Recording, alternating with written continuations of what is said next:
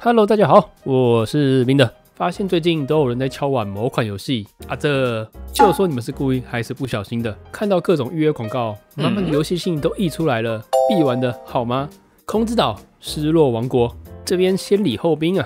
厂商其实在今年三月的时候就有来信询问是否接案意愿，但我没有接。扣除游戏类型以外，当然还有各种一眼就能看到底的考量。不过我在当下还是有给面子，没有第一时间跳出来喷他。毕竟商业道德，咱们还是得遵守一二。但当你开始预约以及丢各种验资商广告以后，那就跟上 PC 的单机作品一样，由不得你了。这边也感谢 FB 网友的提醒，又是各种不相干素材的魔鬼剪辑，就说你跟易亨是什么关系吧？游戏开发商是中国的迅游游戏网络，能从他们的官网找到这款游戏的其中一个名称。不过这网站最后的更新也是二零一六六年的，所以大概率也是别人的替身吧。台湾代理是模块游戏，公司的相关科普请参考右上角影片。那这边得提一下另外一间游戏运营商绝妙游戏，一直有关注我这系列的肯定也不陌生了。它实际就是中国那间专搞换皮的三七互娱，在台湾的发展并不差，毕竟还有台湾 Google 顶级高材生认证最好玩的多人游戏。绝世仙王在那顶着，广告商说同意，谁又能反对？而之前也讲过，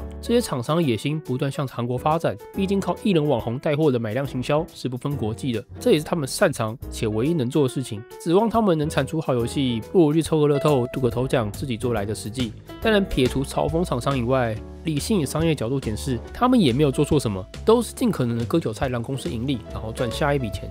所以常常也会炫耀自己的产品多赚钱，即便营收大多不是用来提升游戏品质，毕竟好的游戏不一定能赚钱，但能赚钱游戏就是款好产品，无论品质如何。这也是大部分换皮厂商的核心思想，靠短期爆发一波的变现收割力，是大多数的沉默用户认同，也愿意买单支持。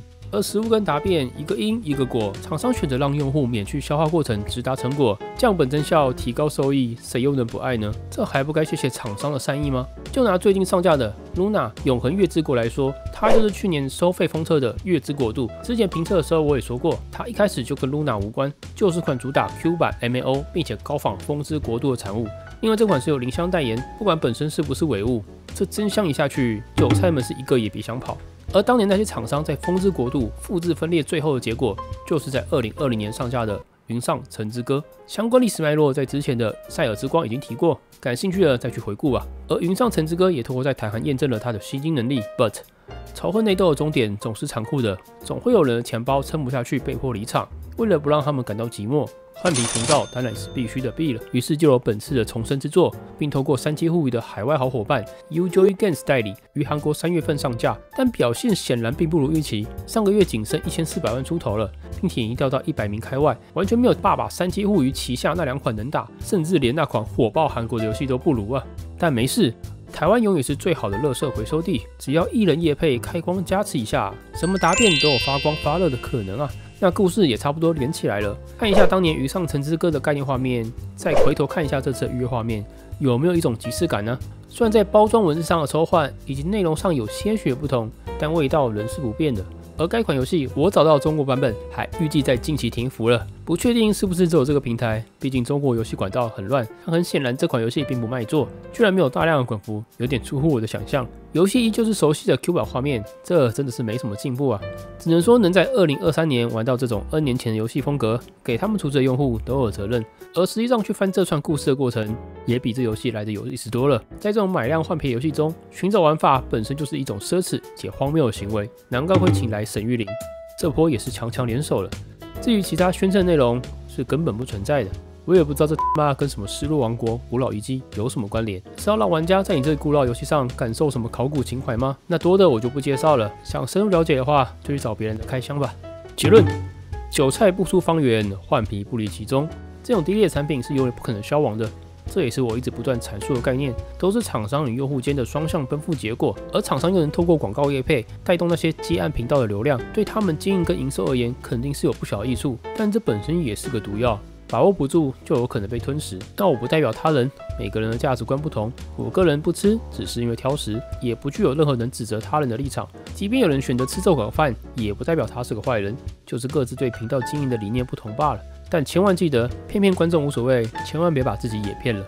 最后给各位一点快乐报道吧。第一个是希望 M 于四月二十七号发布官服公告。这有在看我发布文章的观众应该早知道了。当时我评测的时候就说，这款问题非常的多。虽然曾开启了两天的内测，没错，就是两天。但实际上，很多玩家第一天几乎无法登录，即使第二天也差不多是那个屌样，玩起来体验非常的差。内测时间短，而后来公测的 bug 也一大堆，这给我的感觉就像是开发团队希望做个压力测试，但这时候啊，公司就会有个英明神武但完全不懂行的主管，maybe 是什么业界行销大佬之类的，非常有自信的做出决策，不需要这样才能显得自己的不凡呢。